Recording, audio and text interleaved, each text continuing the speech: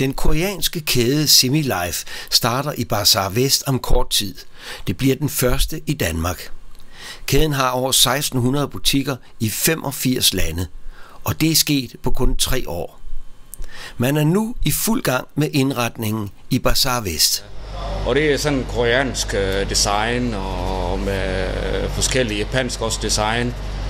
Og øh, jamen, der er varer fra hvad hedder det, til kontor og legetøj. Vi skal lige gå rundt, fordi det, vi er faktisk på et tidspunkt, hvor du er ved at bygge det hele op. Ja. Øhm, og, og det ser jo meget, meget moderne ud i det her. Ja, det ser lidt rødt nu herude, Ja. fordi vi er i gang med at arbejde og lave reol og alt, og ja, varen skal ind også nu her, lige, lige, lige snart vi er færdige med det her, så Så kommer der varer ind. der kommer varer ind, og der kommer rigtig mange forskellige varer ind. Der er kosmetik, der er digitale ting, der er mange ting, så det bliver sådan rigtig... Hva, Mohammed, hvordan har du fået ideen til at, at starte det her op? Fordi det er, jo et, det er jo et brand, Ja, det er det, ja. men det er jo ikke kendt i Danmark. Nej, og det er noget nyt i Danmark, Ja, og øh, det er jo derfor, altså, jeg faldt for det, og det er derfor, jeg synes, alle andre også folk skal...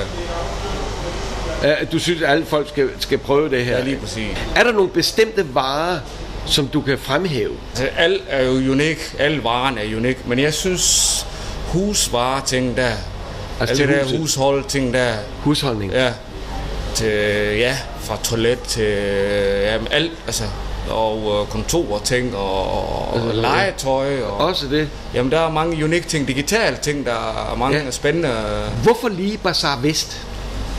Jamen jeg synes, Bazaar Vest var, hvad hedder det, et, øh, det er også et unikt sted, og jeg havde øh, gode samtaler med øh, Bazaar-chefen og, øh, og med Ole Linde, og, og jeg synes, det, vi havde en god øh, kommunikation sammen, og det, jeg synes, det er et unikt sted, og jeg skal have unik butik, så Så et unikt sted, med de Bazaar unik butik, Vest, ja, og en unik butik, Ja. det passer sammen. yes. Men jeg kan jo mærke på dig, at du vil have butikker i hele Danmark. Ja, planen er i hvert fald, hvis det kører det her rigtig godt, og jeg tror på det, det kører rigtig godt, øh, det er at starte i København og hvad hedder det, øh, i øh, Aalborg og Ja. Odense. Det, det er i hvert fald planen. Jeg siger bare held og lykke. Vi følger med, og så kommer vi og besøger dig, når, når der er varer på hylderne. I er velkommen til. Ja, tillykke med det. Tak for mig.